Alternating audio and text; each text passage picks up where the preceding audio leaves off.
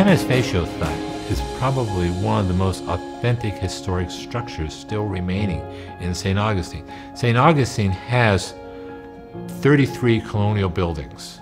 However, most of those have been modified considerably.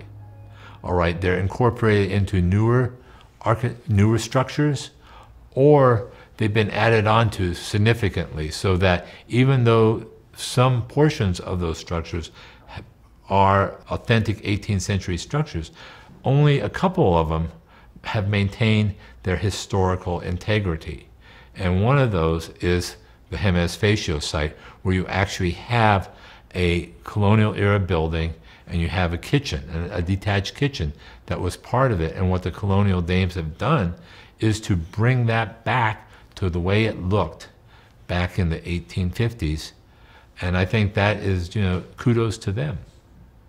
You know, without their dedication, who knows how this property would have ended up.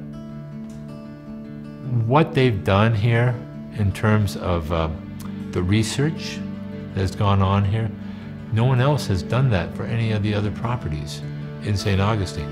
When you look at, they've done what they call dendrochronology, which is actually trying to get a handle on when the wood was cut for the actual beams. They have actual cutting dates to show when they cut the trees for the construction of this house. All the documentation that they've done in terms of the walls, the floors, you know, I mean, that's an incredible database. This house, I mean, what I'd love to do is dig through your floors and to look at really what the earlier floors are like. But I know I'm not going to be doing that. So, um, but you know, I, it's just a wonderful opportunity to come in here and do what I'm doing, and to be part of a project that enables the public to share in the excitement of archaeology and in the process of discovery.